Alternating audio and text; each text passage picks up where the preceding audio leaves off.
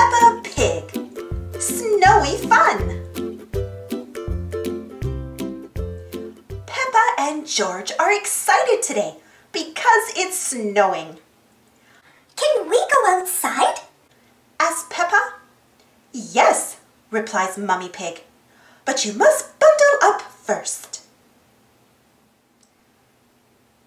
The two little piggies put on their warm, woolly clothes and run out into the snow. George.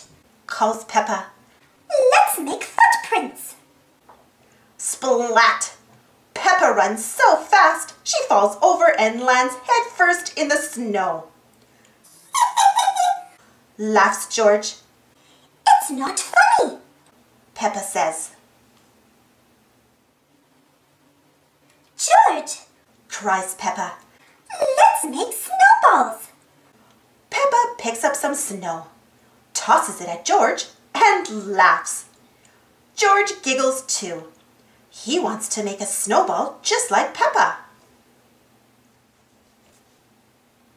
After they're done playing, Peppa has an idea. Let's build a snowman. She says. Peppa and George roll up large balls of snow. Then they find sticks for the snowman's arms and stones for his eyes and mouth. Next, Peppa makes the snowman's nose with a big orange carrot. He needs clothes to keep him warm. says Peppa. George runs inside to find some woolly clothes. The snowman is very happy. Mummy and Daddy Pig come outside. Mummy is wearing her warm woolly clothes, but Daddy looks cold and grumpy. I don't know where my winter clothes are. Says Daddy. I think I know, Mummy Pig smiles. Daddy Pig's hat, scarf, and gloves are all on the snowman, of course. Peppa, George, Mummy, and Daddy Pig laugh so much they fall over in the snow.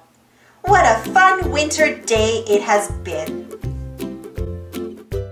Thanks for watching. Don't forget to subscribe and share, and follow me on Instagram and Twitter.